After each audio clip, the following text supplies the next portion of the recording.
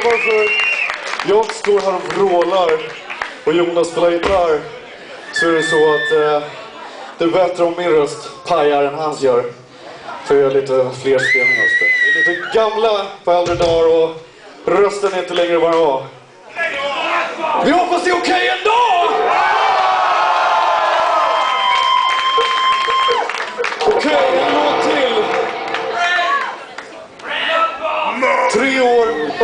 Upp ifrån Dance of December Souls. Den här plattan heter Bring Me The Day. Och killen på gitarr heter Fredrik Norrman!